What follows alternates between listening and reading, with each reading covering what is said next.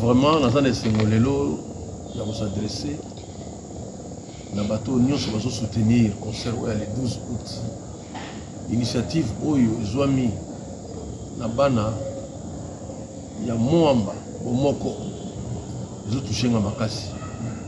pourkui pa lobi ezala mpe funa bomoko lokunga bomoko changu bomoko pourquoi pas kisasa mobimba bomoko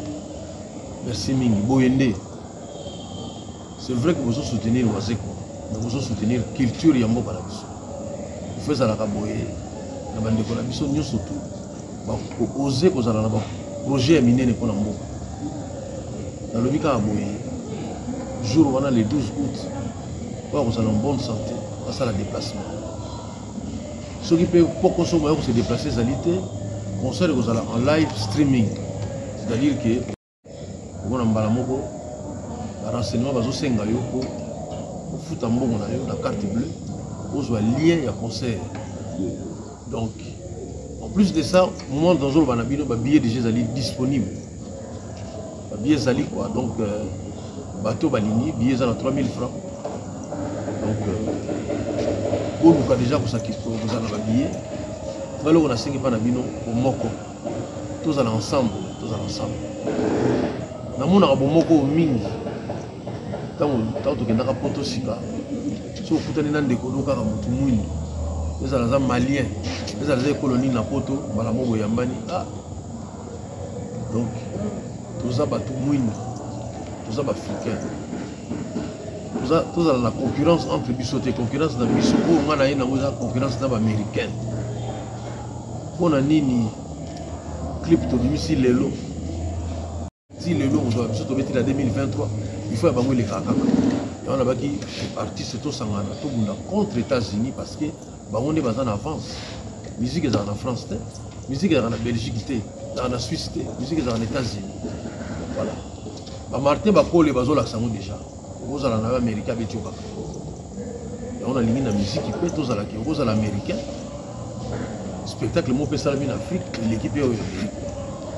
susi na biso yango wana bomoko ezala entre biso bamusicien epuis entre bino bato bosoutenir biso voilà donc nasengi mpa na bino bato bokosoutenir projet oyo na niveau ya moamba oza ebele denis kambai chimbumbu toza na maître raphael kibuka toza na honorable nero mbungu deps malungeni ezaliki bato bazali ebele erik lukasi bino nyonso tu vraiment soutien ezala makasi parce que donc eloko na kosenga mpa na bino euh, adonis mayalos bino nyonso tout donc cetadi ke nayebi nde nakoloba te natika baninga mosusu baloba parce que euh, naboyaka kosala liste parce que okobosana bato te makozangisa naboyi kozangisa bakoko ono ya mowamba bomoko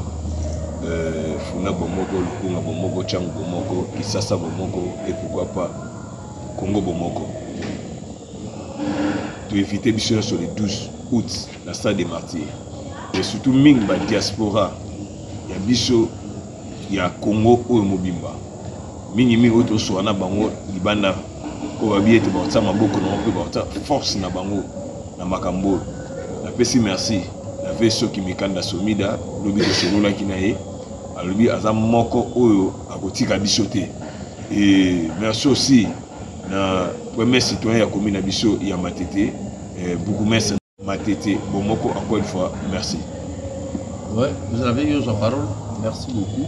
eveneme eza bamoko kaka le 12 août na stade de martyr tokosenga kaka tous les notables surtout ya vila kinshasa nyonso surtout baya kosoutenir monstre d'amour mingi ya kobala mingi eza te logistique nyonso tokanga maboko ya nzambe na esimba ouais, ouais. Vraiment message ezali pona kulutu na biso Somida. Na sasa oyoki meme na TikTok oyoka mamona.